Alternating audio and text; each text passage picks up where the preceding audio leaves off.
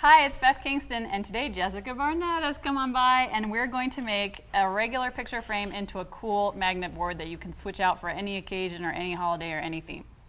Let's talk about this ginormo piece of metal that you've brought with you today. Well, Where did it come from? It came from Lowe's. Mm-hmm. And they actually come in different sizes, but I bought one that was too big and had to trim it down. So, you can cut this down. Yes. Okay. I'm going to run this through the Creatopia with a permanent adhesive. Since it's a metal sheet, it doesn't matter front or back, but I'm just going to insert it into the machine. Crank the handle. And this is going to turn this giant piece of metal into a sticker, which I think is just about the coolest thing ever. So I'm going to hand this to you while I move this out of the way.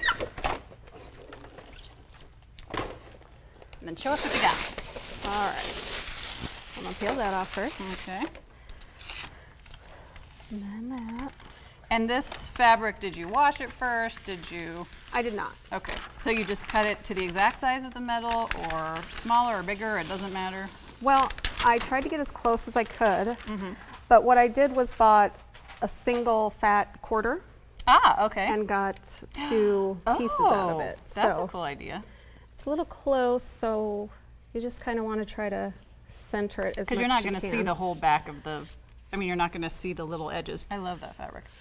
Well, I thought it would work great year round, so And it does. That's just what I was going to say. Okay, so you're going to insert it into the frame, and then of mm-hmm. course you'd put the backing back on just like you would mm-hmm. um, with the regular picture frame. You also want to make sure the glass is out so mm-hmm. that you can add things to it. And then we just took a bunch of different stickers, threw a magnet on there, and you literally, I mean, this is just about the coolest thing ever.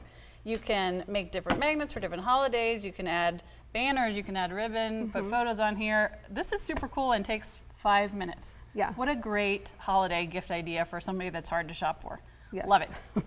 for more great project ideas, come check out Xyron on Facebook and Pinterest.